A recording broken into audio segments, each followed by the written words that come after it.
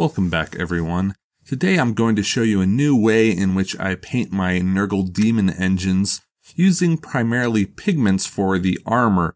Now, usually my least favorite part of painting Hellbrutes or Bloat drones or Plague Burst crawlers as it's difficult to get a nice weathered look to it using traditional washes or paints without getting coffee staining or, or getting some weird looking blends on the armor. But using pigments, you can actually fly through the process and and spend more time on the fun stuff, which for me, that is painting the weird Nurgle skin and the tentacles and all the nice little details that appear on these models. So I'm just going to show you quickly how I paint the armor and all the details on a bloat drone. And I use all these techniques for the various other demon engines in the Nurgle army. So sit back and here we go. So I'm going to start off with my usual zenithal highlighting of my model. I primed it gray and here I'm using some Zandri Dust by GW, the air paint version, and I'm coating the entirety of my model with it. Within my spray booth there's some weird blue lights, that's why it's turning out kind of bright yellow. It's more of a a brownish yellow. If you know what Zandri Dust looks like, it looks a little bit different than this, but it'll be a nice base for the bone colored armor that I use for my Death Guard army. And then I'm going to go and I'm going to be taking kind of a, a light bone color. This is a, this is a birch by scale 75 and I'm shooting that down at about 75 degrees hitting all the highlights of the model on the ar- the top of the armor anywhere I know light is going to catch. And again, if you don't have an airbrush, you can use the GW spray paints for this. Coat it with Zandri dust and then maybe hit it at a, at a high angle with one of GW's white spray paints and you will get a similar effect as what I have here. And then once my zenithal has dried, I'm going to start painting all of the metal portions. I'm going to get all the metal portions finished and then I'm going to hit both the metal and the armor with my pigments to get my weathering done nice and quickly. So here I'm using the Vallejo Metal Color Series Gunmetal Black. These have become my favorite metals. They're really easy to blend together. They actually look very realistic. The pigment is very fine. The metal flakes are very fine within the paint. You can shoot it through an airbrush. It's good stuff. I'm going to go kind of the extra mile with this and do kind of some meticulous uh, layering of the metal colors. You can always just paint it a silver, hit it with a black wash, and call it a day. But here I'm going to take the gunmetal, and then afterwards I'm I'm going to take a little bit of the Vallejo steel color, mix it in with the silver, and then I'm going to hit about 75% of the metal areas, leaving only that gunmetal in the deep recesses or in areas that I know are going to be in deep shadow. And then for my final highlight on all the metal, I'm taking the Vallejo aluminum, which is a very, very bright silver color, and I'm hitting only the areas that will be catching the most light on the top of the gun barrel on each of those little round cylinders there on all the sharp edges, and my metals will be complete once that is done. So with the metal finish, we're gonna now start with our pigment. So here I'm taking a Vallejo pigment color, it's the rust color, and I'm gonna be placing it in all the areas on the carapace here where I think that a lot of dirt and grime and kind of rust would accumulate. So here at the bottom, and all around this kind of Nurgle symbol. And using pigment is great because you can really control the intensity of the pigment you want a really intense color, just leave the pigment on there and then fix it on with some alcohol. But if you want just kind of a subtle hint of color, you can apply the pigment on and then with your breath, blow off the excess and just get a, a again, a very fine hint of the pigment. So after I put down this kind of bright red color, I'm going to darken it down by using a burnt umber pigment. And I'm just placing this over top and I'll actually do kind of several passes with this burnt umber. I put it down and then again using my breath I blow off the excess and then I'll go back over it and until I, I kind of get a color that I'm satisfied with. And as you can see here, if if you think the pigment is getting a little bit too intense in certain places, all you need to do is get a moist brush and you can wipe off any pigment that has got onto an area that you don't want it. So here I didn't want all the pigment covering up my metal color here, so I can just wipe off the excess, no big deal. Unlike paint, once you put this down, it's not permanent until you seal it with alcohol or a, or you can buy special pigment sealants from hobby companies. And so here you can see what it looks like after we've applied our pigment and it's actually pretty smooth transitions among the armor. And since I'm happy with it I'm going to spray it here with just some isopropyl alcohol. And that'll lock down the pigment.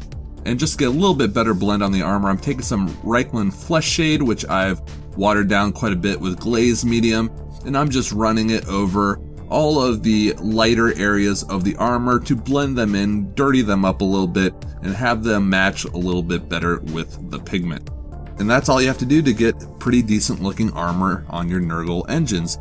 And now that our armor is taken care of, and we did it pretty quickly, we could spend a lot more time on all the really intricate details in the model. And so here I'm hitting the metal areas using the same process that we use for the armor, using our two pigments, putting them in the areas we think dirt and grime are going to accumulate, using a wet brush to help wipe away any excess pigment on areas that we want to be a highlight, and then our metallic areas will be finished. Alright, now it's time for my favorite part of Nurgle models, which is painting some gross skin. So here I'm kind of changing up what I had been using. I've been using kind of a bluish, drowned look for my skin. Here I'm going for a kind of a deep, blood-rich, bruised look for my Nurgle skin. So here I'm using a nice deep burgundy color and some purple, and I'm laying in kind of the, the dark sh shadow areas with that. And then I'm blending in some P3 Thrall flesh, which is a really kind of gross greenish skin tone. And I'm just using some wet blending techniques to blend all these three different colors together.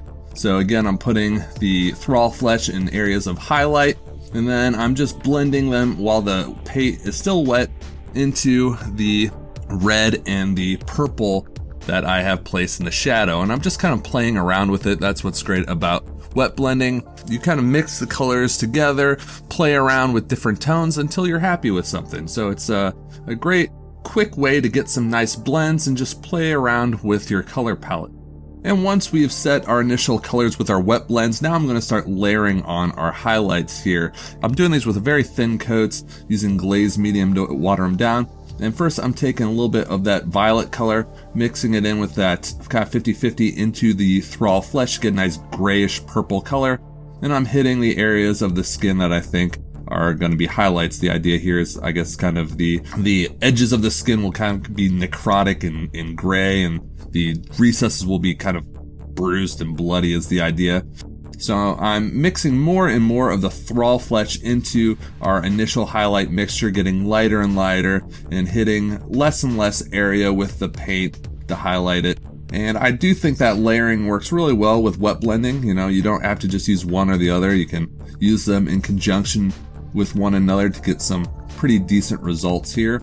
And then I'm going to be taking some sickly skin, which is a greenish white color, and I'm going to be mixing in some Arctic blue with that to again get a little grayish white color. And I'm only hitting the really highest regions of the skin with this color, the areas that I think will be uh, will be catching the most light, a lot of those warts and boils of the skin anywhere that I feel uh, I want to draw some contrast. And then as the final high highlight, I'm taking just that sickly skin, which is again almost a white color. And I'm just kind of really doing like little dots and streaks and creases in the skin, just as the highest highlight to draw your eye to certain areas to kind of give the illusion of folds in some of the round areas of the skin. And with that, our skin will be done. And I think it looks pretty gross. So uh, this might now be my go-to uh, Nurgle skin recipe.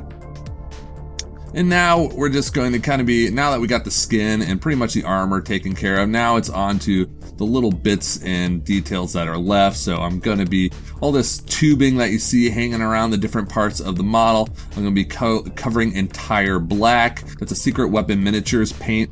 And I'm going to be then highlighting that with their rubber highlight. And then I'm going to be painting all the tubing areas with flesh on it with a more lighter flesh tone, with a kind of a, a normal Caucasian flesh tone. So I'm starting with some Indian Shadow by Scale 75 as our base color. Then I'll be mixing some of my pink skin tone into the Indian Shadow for my second layer, and then layering up and then layering up into the straight pink flesh uh, for the top portion of this little hose area. And then I'm to keep mixing and I'm to mix in the light skin tone into the pink flesh to get my next highlight, hitting only the very upper portions of the skin, the areas that I think light will be catching. And then finally, for my high highlight, I'm taking that light flesh and just hitting a few areas where I want to draw your eye. And then actually I decided that wasn't quite enough contrast for me, so I took a little bit of that sickly skin and again made little streaks and dots on the areas, on certain areas to create a high contrast. And then I took some of that Reikland flesh shade, watered it down, and went over all of those tubing areas. Next up, we're going to deal with the lens of the, I guess, the eye of our Demon engine, and we're going to do some OSL effects and, and try and create a nice little lens here. So I went with kind of a Mediterranean blue by scale 75, did a nice coat of that, and then I watered it down with some glazed medium and I'm hitting the areas where I think that the light is going to be refracting onto. So around the edges of the carapace there and down on that little bit of skin below the lens. Watered it down quite a bit just to get a hint of that blue for our OSL effect. And then I'm going back to the lens and on the bottom portion of the lens, I'm going to wet blend that Mediterranean blue together with a uh, lighter kind of Arctic blue. It's actually uh, the light blue by P3. I, I can't remember the name off the top of my head, but I'm going to be wet blending those two together. I want the light, lighter portion, lighter blue on the bottom of the lens, darker blue at the top. Then I'm mixing in some of that birch color by scale 75 into the blue, creating a really light sky blue. And I'm hitting the lowest sections of the lens with that. At some points, I feel like I get a little bit too light, then I just kind of wet blend a little bit of the dark blue in there. Again, just playing around with the wet blending until I get a nice contrast that I think looks realistic. And then I use a little bit of really light blue to create the bottom of the lens. And then at the top to finish off the effect, I'm going to be taking some pure white and just hit it, doing a few dots at the top. And that will give us our little lens effect. And then we'll be moving on to the bone areas, all the bones and spikes around the carapace. I'm just going to be wet blending some bootstrapper brown into that birch color that we've used as a kind of a high highlight on, on our armor. Just playing around with the two colors, getting a, a nice contrast between the bone color and the brown. All right, again, I, I'm starting to use wet blending a lot in everything I do. I just think it's a quick and easy way to get some decent blends. As you can see here, it only takes a few seconds. It's not that difficult. Otherwise, you could spend 10 minutes layering up these bone areas when you could do it in about 30 seconds with some wet blending. And so once we have all of our bone sections finished, now we're going to finish up the last weathering portions on our model. I'm going to be taking some typhus corrosion I'm going to be putting that and all those all those dents and dings in the armor, anywhere where it, there's areas of the carapace that have been cut out. And then I'm going over the typhus corrosion with some Ryza rust, kind of highlighting it, just in, in choice areas, just kind of almost over brushing it.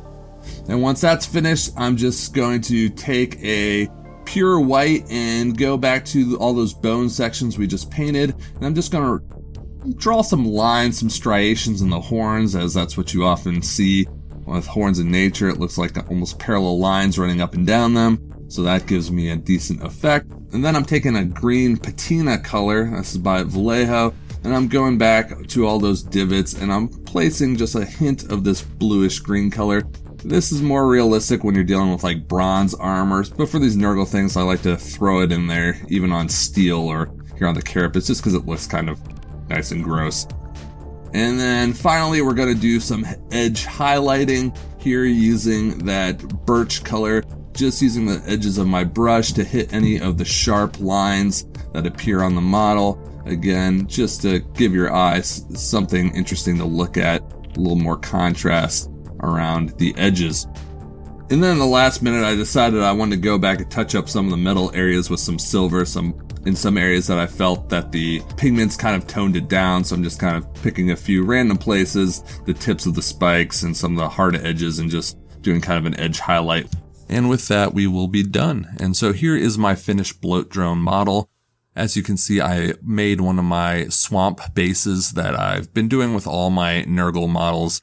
I'm not going to show you how I did that here. If you want to see, you can go back to my swamp base video, which I'll link in the description. Also, I poured the resin when it was a little bit too humid out, so there's tons of micro bubbles. It actually doesn't look all that great. So I, I really didn't want to show you how to make a subpar looking swamp base here. But anyway, as far as the model goes, I think it turned out really nice. I really like using pigments for the armor. It's much quicker than my previous method. If you've seen my other video on how I paint the power armor on Plague Marines, I, I used to use a bunch of different washes and it took forever basically due to drying time. It's, they were easy techniques, but they still took forever. Meanwhile, Meanwhile, I feel that the pigments are maybe even easier than using washes and they're really quick. Like we got the armor of the bloat drone done in only a few minutes and had a lot of free time to work on the more intricate details. So I really don't know if there's a quicker way to get some really nice looking armor for the Nurgle, especially if you're going for a more realistic theme like I am. And in fact, I'm going to start using this method on my normal infantry, my plague marines, and I've even gone back to some plague marines I've already painted and used some pigments to deepen the shadows and it looks really good. So anyway, hopefully you got something from this video. If you did, please hit that like button, leave a comment below, subscribe, and I will see you all soon with my next video. Take care.